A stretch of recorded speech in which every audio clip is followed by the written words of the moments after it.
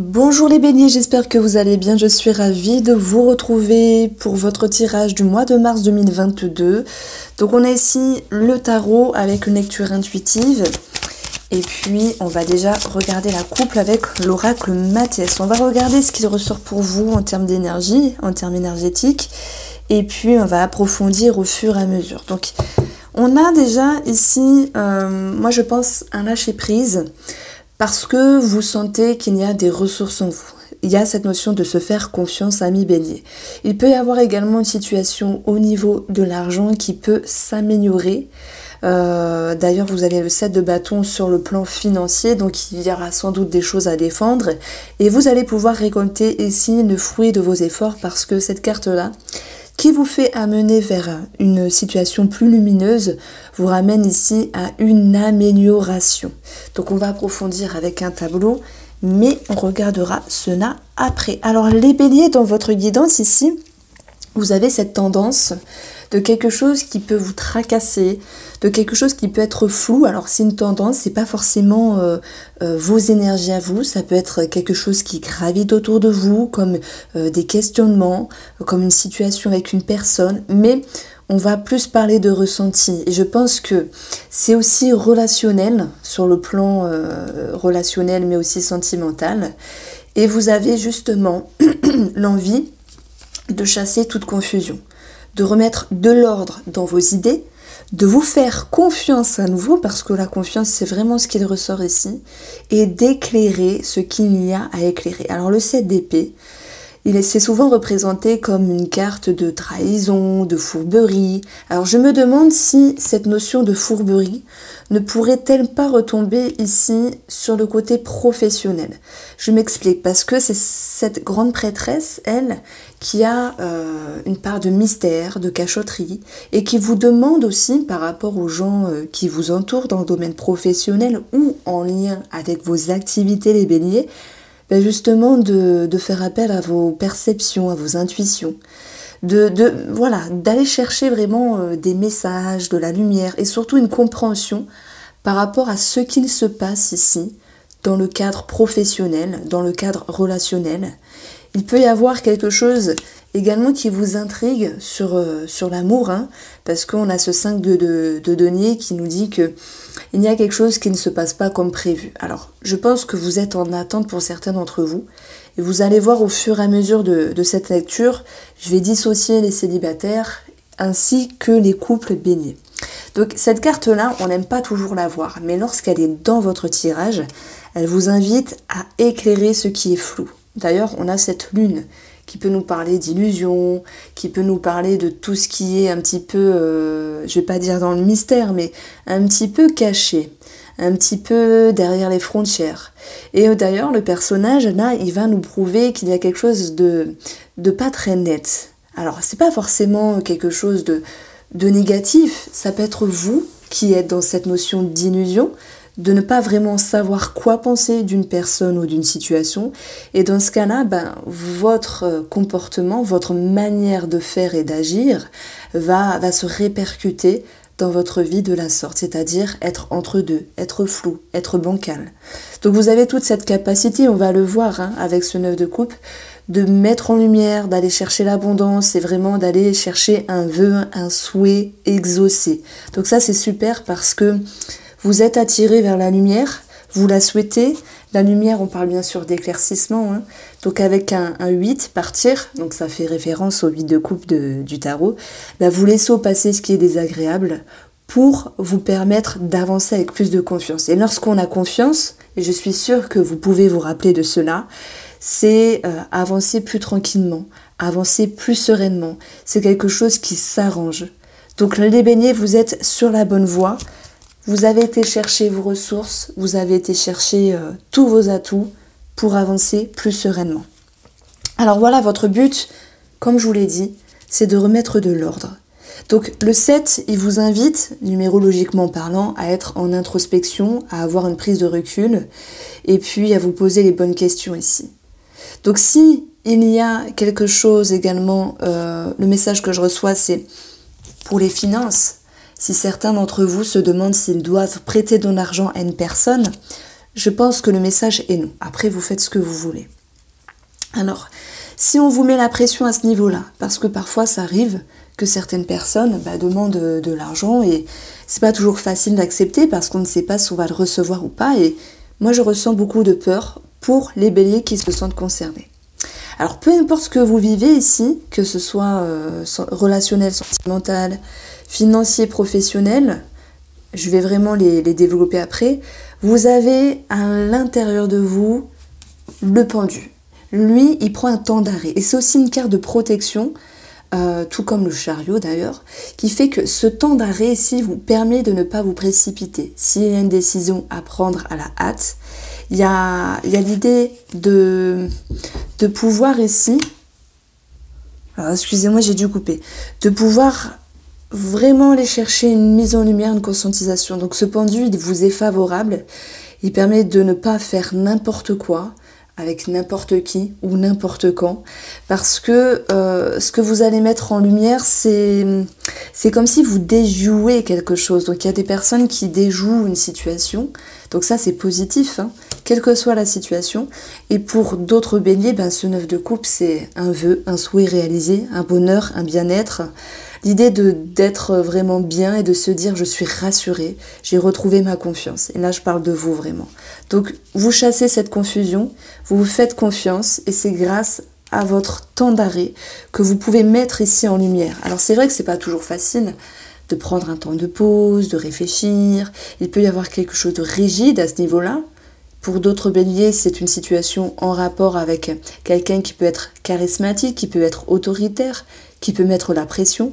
Mais votre atout à vous, vraiment, c'est d'être dans une forme de, de légèreté, d'insouciance, euh, dans le sens où vous vous faites confiance. Euh, ici, on a un valet. Donc le valet, c'est quelqu'un qui est jeune, qui est spontané, qui est frais, qui est insouciant, mais il va pas se prendre la tête, mais il va suivre, il va suivre ce qu'il a dans le cœur. Donc ce que vous avez dans le cœur vous pousse à aller vers, on va dire, des jours meilleurs, mais surtout aller vers une confiance ici. Donc, j'ai pris une dernière carte pour, pour savoir un petit peu le développement de cette situation. Et ce roi d'épée vous annonce que ben, vous avez la vérité, il y a une certaine stabilité, vous êtes bien dans vos baskets par rapport à ce que vous pensez. Il ressort beaucoup de communication ici, on a des, on a des épées, hein, donc c'est un mois de communication. C'est un mois également assez mental, où il faudra jongler entre euh, ce qui est flou et ce qui peut être mis en lumière. Et vous y allez clairement, hein. c'est cette carte-là qui va me le dire aussi. Alors, on va avoir ici euh, ce 5 de denier sur le côté relationnel, mais je vais vraiment le, garder, voilà, c'est croustillant, on va le garder pour la fin.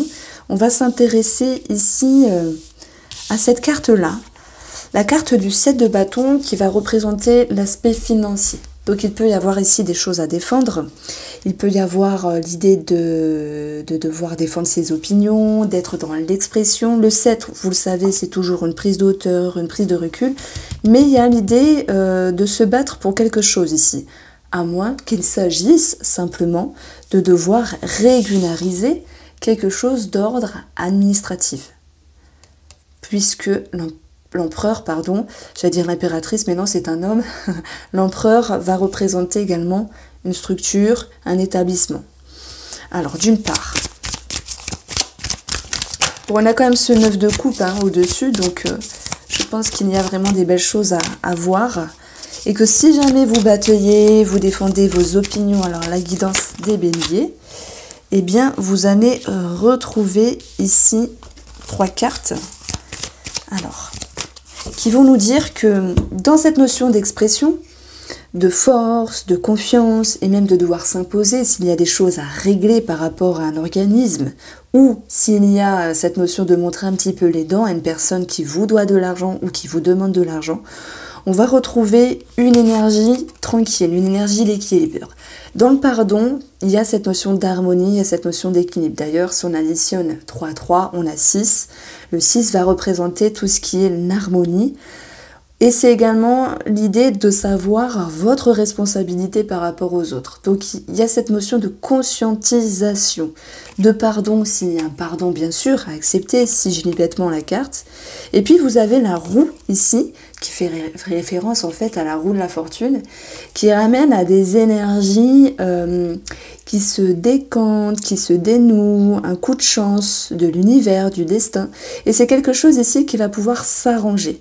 Donc moi je pense que s'il y a des choses à régler, ici vous défendez vos opinions, par rapport à cet établissement et vous y retrouvez un sentiment de fraîcheur, un sentiment voilà qui est plus euh, tranquille. D'où ce neuf de coupe veut souhait réaliser.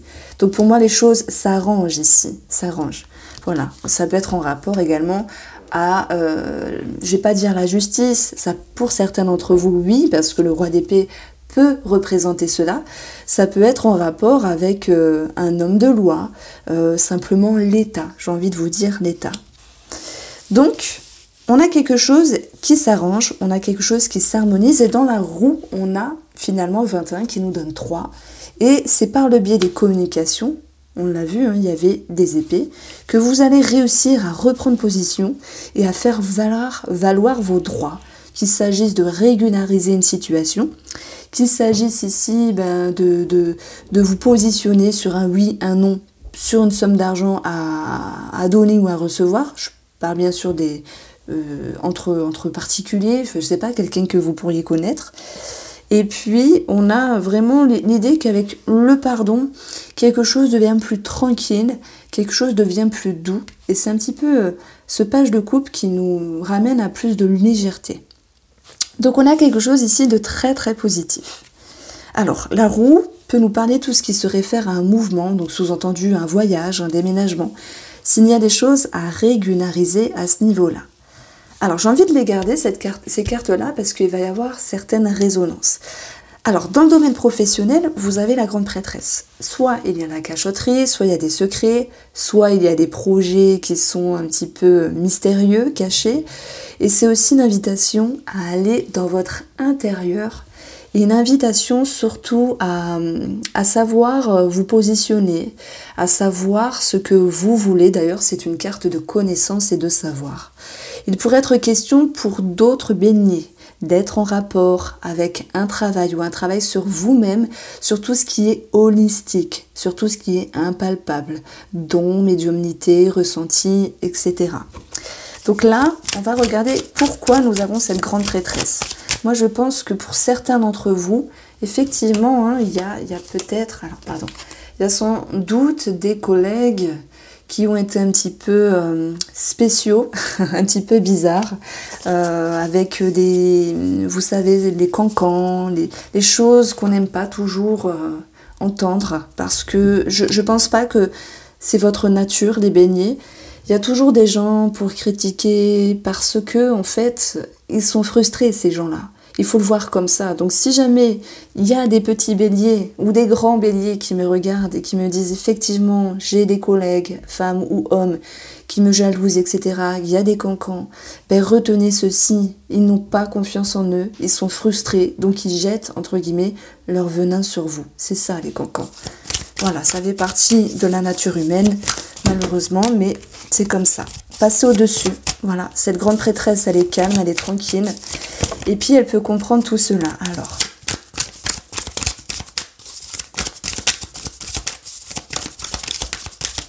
Alors, ça ne veut pas sauter. Donc, on va ici en piocher. Nous allons prendre celle-ci. Oh Eh bien voilà, je vous la dédicace. Cancan, jalousie, médisance mais pas que. Hein. Le serpent signifie aussi une situation qui est compliquée, qui vous demande de vous positionner, de remettre de l'ordre ici. Alors, ce qui est bien, c'est que vous allez pouvoir justement ben, prendre de la hauteur, voir les choses différemment. Et nous avons 46 qui nous donne la numérologie du 1, être dans un nouveau cycle pour percevoir, comme la grande prêtresse, les choses différemment. Parce que voilà, nous obtenons 7 ici, 4 plus 3, 7, prise de hauteur, prise de recul. Donc 7 correspond à ce qui était flou professionnellement, que ce soit dans votre travail, vos activités, ce qui était flou euh, professionnellement par rapport à des collègues, à des gens qui vous entourent. Donc il y a cette notion d'élévation. Et oui, ben vous êtes la femme ou en rapport avec une femme, parce qu'il y a quand même un nombre minime d'hommes qui me regardent. Donc pensez pour vous, les hommes. Et puis cette femme aussi, c'est deux. Donc deux, c'est la dualité, c'est le rapport à l'autre, c'est la recherche de l'équilibre. Et l'énergie de la femme va vous amener à être en introspection, tout comme la grande prêtresse. Donc on a vraiment une corrélation ici dans ce tirage-là. C'est assez intéressant parce que euh, ben moi je, pense que vous allez déjouer une situation. Voilà. Et c'est vous qui êtes, qui êtes intelligent dedans. Voilà. Vous êtes dans l'élévation. Et en même temps, il y a beaucoup de. Quand je regarde cette combinaison-là, d'altruisme, de ré, de générosité, de, de compréhension. Mais vous êtes dans le pardon parce que il y a quelque chose de bon qui ressort en vous. Et puis, euh, c'est aussi ça le neuf de coupe, c'est aller chercher dans ses ressources, les faire jaillir, et puis se dire qu'il y a un vœu, un souhait exaucé, c'est aussi de retrouver une harmonie dans votre vie. Donc c'est un très très beau tirage, je suis vraiment très contente de commencer avec vous. Ensuite, nous avons ce roi ici d'épée ce roi d'épée, ben lui, euh, il fait référence à votre développement, comment vous avancez pour ce mois de, mars, de mars 2022. Vous les béliers, ce roi vous dit que vous êtes stable. Il peut y avoir une prise de décision aussi avec un roi. Donc il y a quelque chose de très très beau, c'est que beaucoup de maturité, beaucoup de positionnement, et puis le roi d'épée, il en jette. Euh, il, est là pour recadrer les choses et ce qui était flou, finira recadré. Donc j'ai envie de tirer deux cartes avec quand même. En tout cas, il y a du mouvement, il y a du changement pour une femme.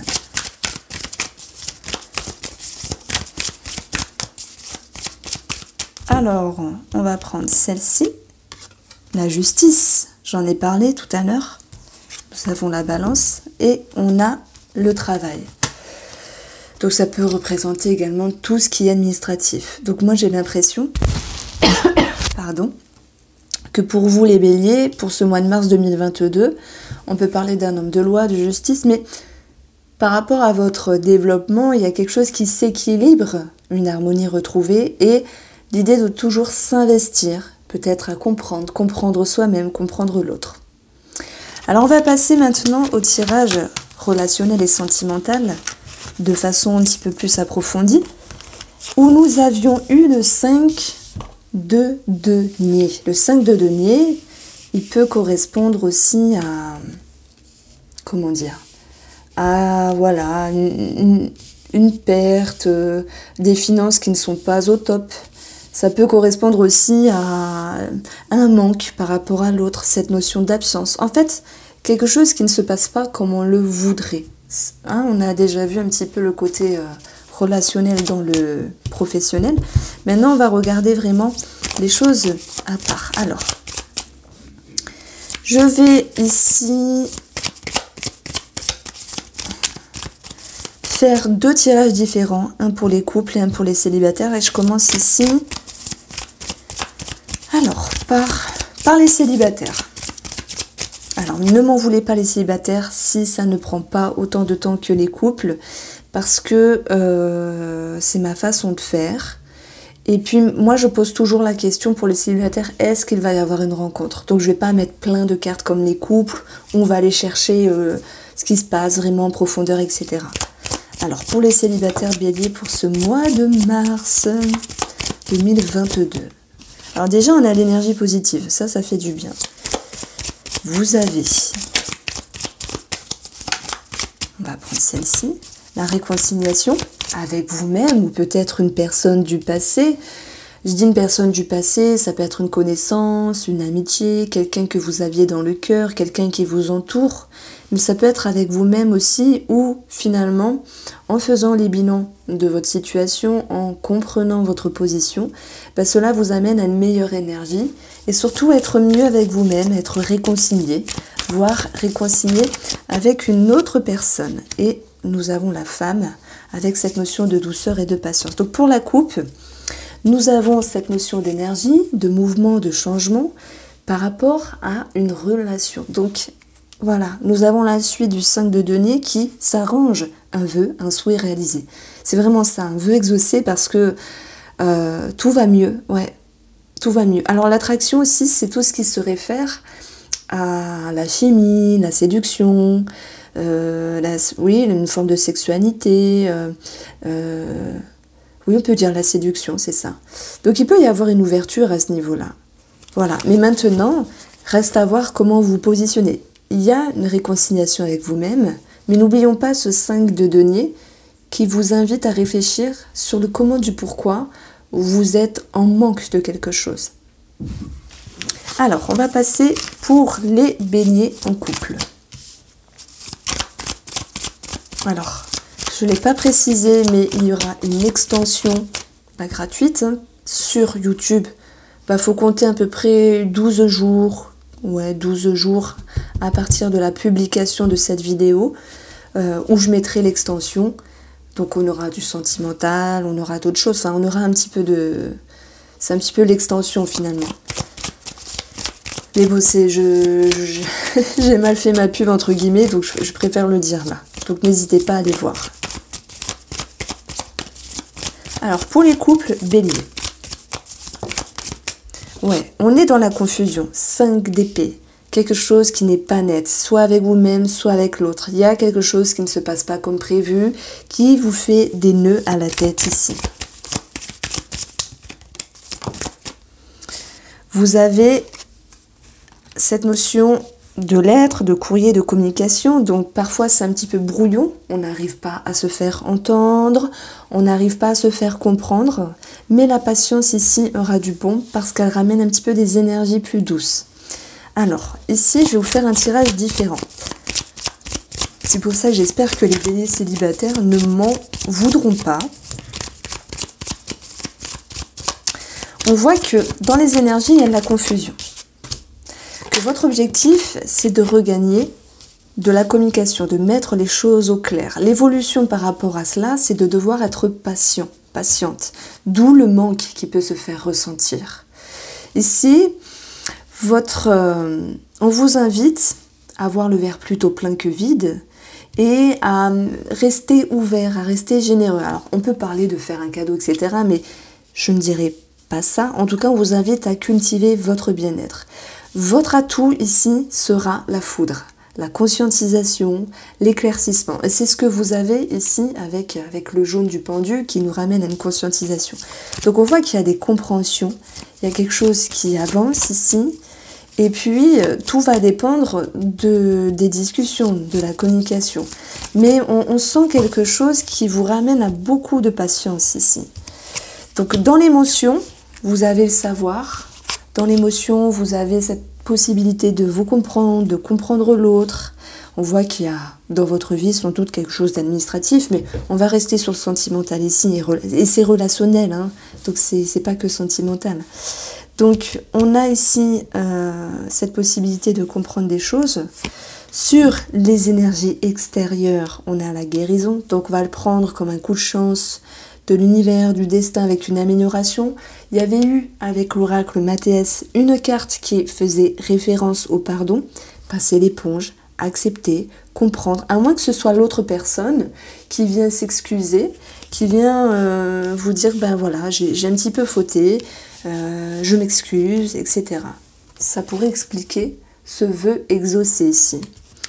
Et puis, vous allez avoir la finalité, et eh bien le guide, qui vous ramène à plus de confiance, de sérénité, plus de tranquillité. Donc les choses s'harmonisent, s'arrangent, mais je maintiens qu'il faille ici rester dans la patience, d'où ce 5 qui est présent et qui vous invite de vous détacher, de vous délester, de vous libérer de ce qui vous entrave aussi. Dans le 5, on se, on se détache de certaines dépendances. Et puis, euh, c'est dans le but d'aller vers un 6 par la suite, numérologique, pour regagner une harmonie.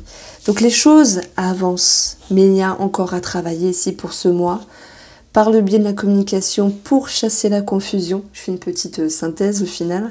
Et vous allez ici vers un mieux. Voici pour vous les béliers. Je vous embrasse bien fort. Euh, alors j'espère que j'ai bien dit bélier.